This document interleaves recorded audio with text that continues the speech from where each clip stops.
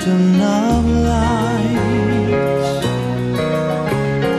Try to imagine that hope is a ship for the soul.